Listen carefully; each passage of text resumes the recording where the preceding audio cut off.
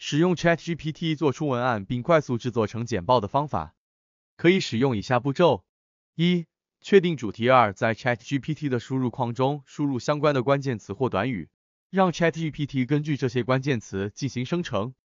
生成的文本可以根据需要进行筛选。三、整理生成的文案，将 ChatGPT 生成的文案进行整理。四、制作简报，将整理好的文案使用 PowerPoint。Keynote 等软件进行制作。总体来说，使用 ChatGPT 做出文案并快速制作成简报的方法是一个高效而有趣的方式，能够大大节省时间和精力，同时还能够获得更多的创意和灵感。我现在要把这些贴成一个文字档。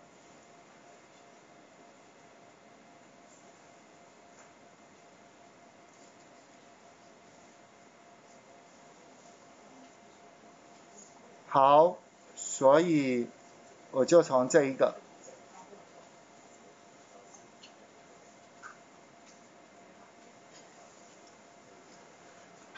我因为我要这一段文字的话，你看这一个，呃，其实它是一个 copy，就是拷贝这些字了。我我能不能我能不能再稍微给你看一下，例如说。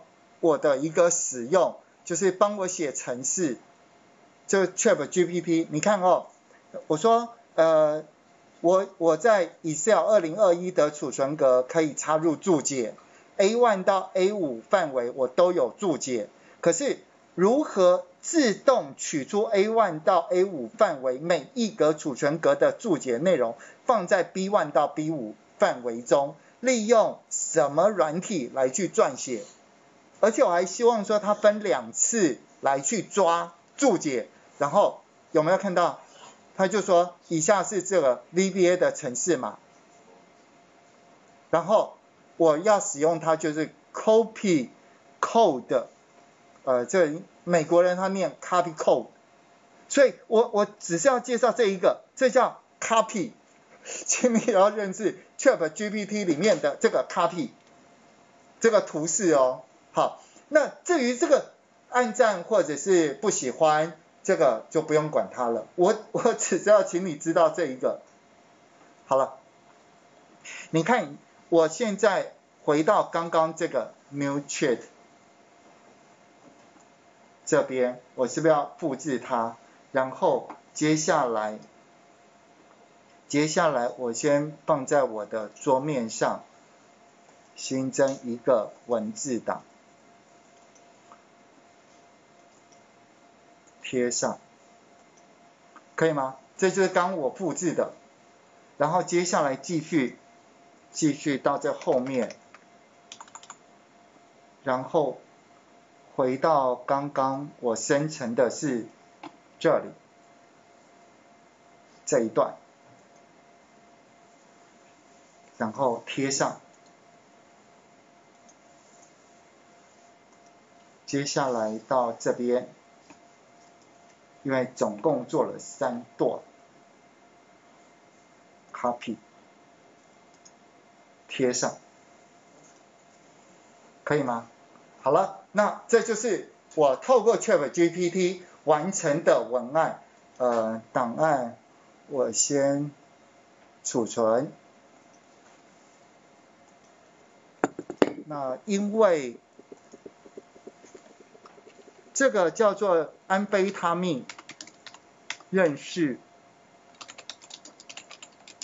安非他命。好，那我们接下来就来观看。所以文案的生成，文案的生成，各位应该已经会了吧？可以理解我的意思啊。好，接下来，可是接下来的重点来了。接下来就是我要跟你们分享，我有了这个文案之后，我要把它做成简报，这就是这个课程的重点嘛。所以接下来第一件事情，麻烦请用 Word 打开刚刚的文案。好，首先我们可以打开 Word，所以请你们接下来就要开始跟着我来去做喽。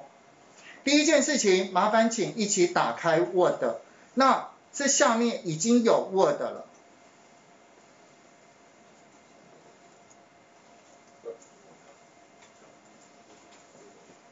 然后开一个新的新的，好，我不晓得，请，其实我不晓得你们了不了解，我们的 Word 要做的好看、专业，简报也是要做的好看、专业。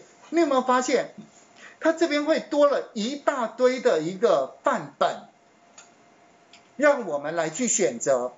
那因为我现在要准备开的是一个空白文件。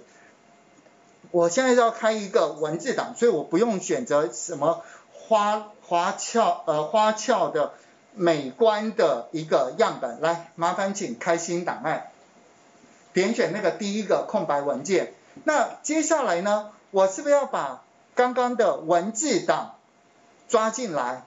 所以其实你可以用档案开启旧档，开启刚刚你下载的。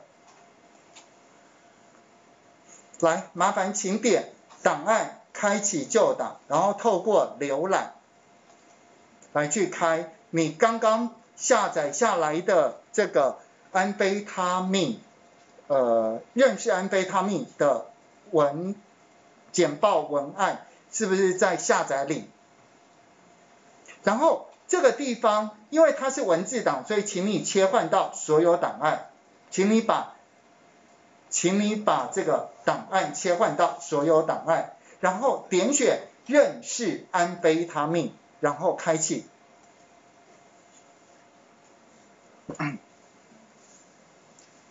好，请问，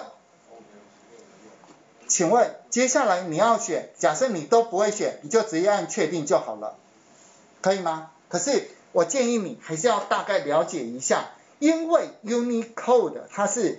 UTF-8，因为我刚从网络上抓下来的这个档案已经经过网页编码，那网页上的编码它就是这一个。那请问一下，本机的编码它是叫做 ASCII code 大五码，有听过吗？好，所以只是稍微让你了解一下，我们只要是从网络上抓下来的档案。文字的一个编码，它中繁体中文哦，它是 Unicode 这个 UTF-8。好，确定。好，请问一下，是不是就有这样一个文本了？这叫文案，文案我们已经做好了。当然现在哦，我就是要模拟，如果说是 Word 的文书档案。如何快速传过去给简报，让呃自动生成简报这件事，这里面有一个非常重要的功能，我不晓得各位知不知道这个叫样式。可是我要告诉你，这是文字文字档，你要整理出来，一定要经常使用的一个功能。好了，请问一下哦，我这边。我这边我要传送过去这个，因为你知道简报，简报我们是不是区分有那个上面叫标题，下面叫做内容，对不对？简一张投影片的一个形式，上面是标题，下面是内容。可是，在 Word 里面呢，你只要区分这个是标题一。这个是标题一，它就会把它放在一张投影片，它放在一张投影片。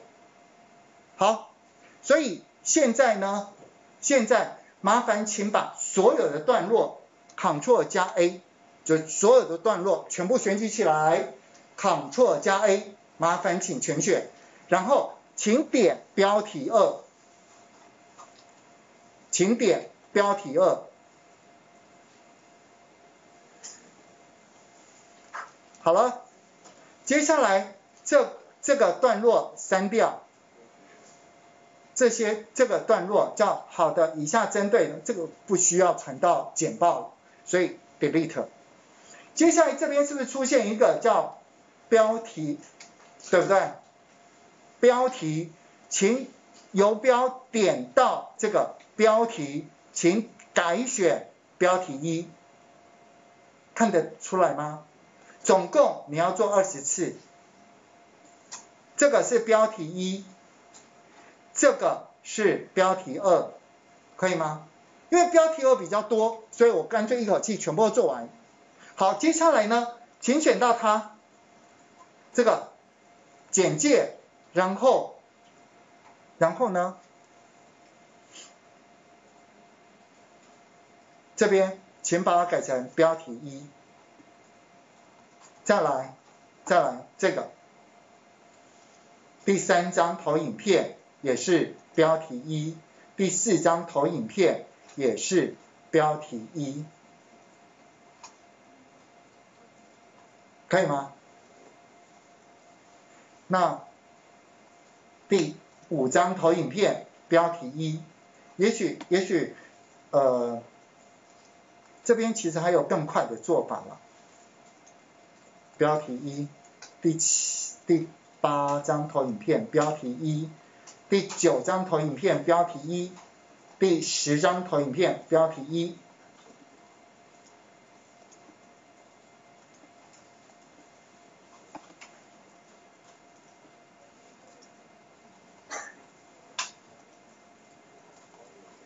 十三、十四、十五。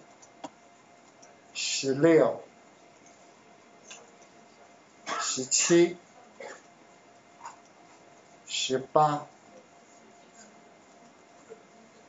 十九、二十，然后最后这一个，最后这一个段落，我把它独立放在另外一张好了。这这以下就是本次什么什么，好放在也也把它改成标题一。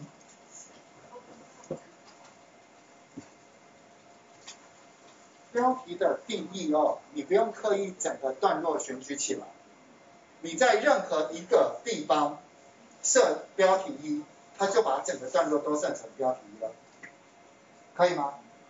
哎，为什么？好，所以怎么做呢？段落嘛，每不管你在任何一个地方，都是指这一个段落。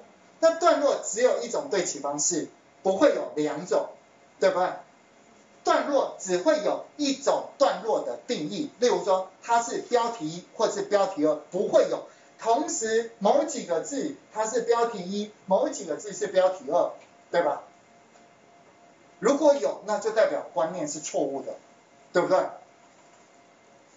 好，那我们接下来我们就来去观看一下，就是说到底我们做的，因为有时候你会不小心做错，所以我们来做一个简单的测试，把所有标题一改成红色，滑鼠右键点选标题一哦，不要点错喽，标题一，滑鼠右键点选标题一，修改，好，点一下修改，接下来呢？麻烦请把字的颜色，字的颜色在这边。